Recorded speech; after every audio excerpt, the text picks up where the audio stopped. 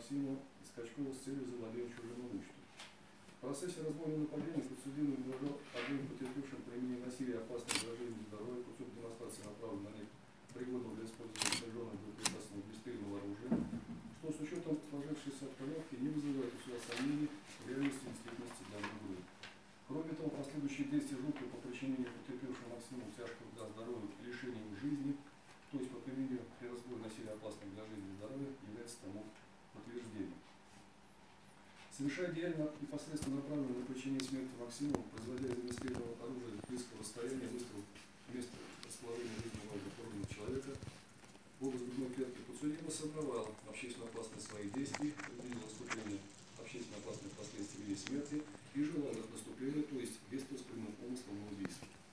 С учетом приходит к выводу, что и Жуков, что Жуков действует прямым умыслом лишения жизни Скачкова, совершив все необходимые достаточные действия для выполнения объективных сторон убийства.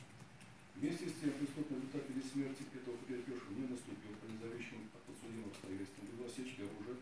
из которого был проведен выстрел, а также сопротивлению потерпевшего и своевременно принято мерам по задержанию подсудимого. Физическое состояние подсудимого судом проверено согласно заключению комплексной амбулаторной судебной психолога психологической экспертизы действия Жукова во время директора были последовательными, целенаправленными, без признаков измененного сознания, вреда и галлюцинаций.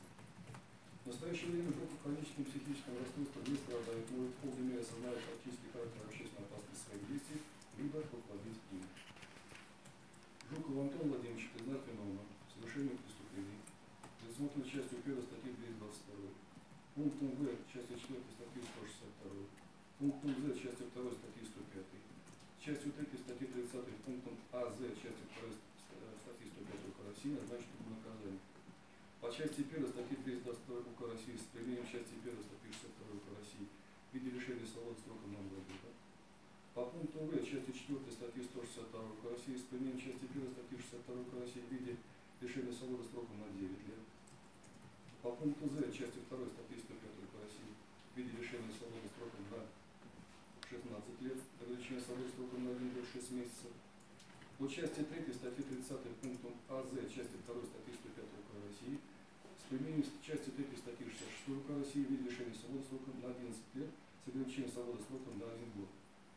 В соответствии с частью 3 статьи 69 УК России путем частичного сложения назначенных наказаний окончательно по совокупности преступлений назначить Жукову Антону Владимировичу 18 лет лишения свободы с ограничением э, с обыванием испытательной колонии строгого режима, с ограничением свободы срока на 2 года, в течение которого ДВ Жукова не выезжает за пределы территории муниципального образования, где осужденный будет проживать после отбывания лишения свободы,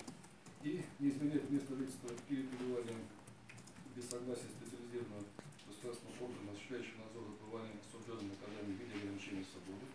являться указанным специализированным государственным органом регистрации два раза в месяц.